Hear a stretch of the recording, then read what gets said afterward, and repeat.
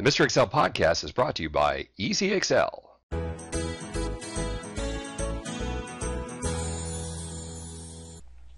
Hey, welcome back to the Mr. Excel Netcast. I'm Bill Jelen. Uh, it's Memorial Day. No work today in the United States. Uh, great thing. Hopefully, most of you are home enjoying the uh, picnic with your family. Today's question, sent in by Eric. I think Eric's question is going to lead to a whole new segment on the podcast.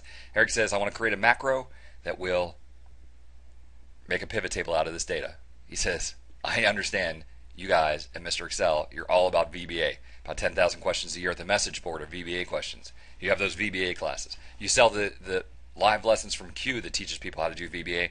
I don't want to learn VBA, he says. I just want to know enough to make the macro recorder work. No matter what I do with relative or not relative, the macro recorder hard codes the fact that when I created the pivot table, I had 469 rows of data. And then if I try and run it on a different data set that has more or less rows of data, it only uses the first 469 rows. How can I take that recorded macro and generalize it so it works with any amount of data? All right, so that's our goal today. I'm not going to teach you VBA. I'm just going to show you how to fix the macro recorder. All right, so we go to View. You want to make sure that Relative is turned on. Now, it's turned on here because I have a gold glow. Uh, by default, it's not going to be turned on on your machine, so you're going to want to click Use Relative Reference. Relative Reference should be turned on all the time. Why they didn't make it a default, I have no idea. So make sure that you have a gold glow there. And then we're going to record a macro, call it create pivot. Normally you stored it in a personal macro workbook. For this podcast though, I'm storing it in this workbook. All right, the macro recorder is working. So insert pivot table, click OK. Uh, let's put products down the left hand side, revenue in the heart of the pivot table, region going across. Good. Let's take a look at our pivot table over here so you see it looks like we want it to look.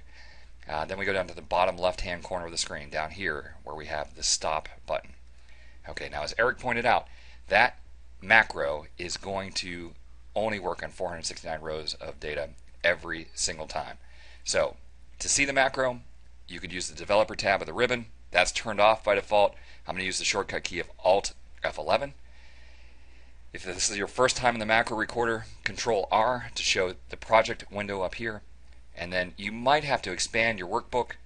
You'll definitely have to expand modules, and that's where they recorded the code. Double click there. All right, now a couple of things we're going to see. Right here, R469, that's where they hard coded how many rows of data were there on the day that it was recorded. So I need to generalize that piece. I'm going to add a new variable in. The variable is called final row. And this line of code is in every macro that I write you're just going to have to memorize this piece. Cells, rows, dot count, comma one, dot end, XL, up, dot row, final row. Now, final row, there's nothing magic about that. You can call it FR, you can call it X, I don't care. I use final row because it, it makes sense to me. And it basically goes down to the last cell in the spreadsheet, either A65536 if we're in compatibility mode, or A104856 if you're not in compatibility mode, presses the End key and the up arrow key, which takes me to the last row with data. And it remembers which row that is. Here, where they've hard coded 469, I'm going to put quote ampersand, my variable name, final row, another ampersand, and a quote. Get rid of the 469. Okay, so that is enough to generalize things that it will use a different number of rows. But there's two other things that they've hard coded. They've hard coded the fact that the pivot table went to a new worksheet and that new worksheet happened to be called sheet 10. We can't always assume that's correct uh, because every time you do sheets.add it's going to use a different sheet name.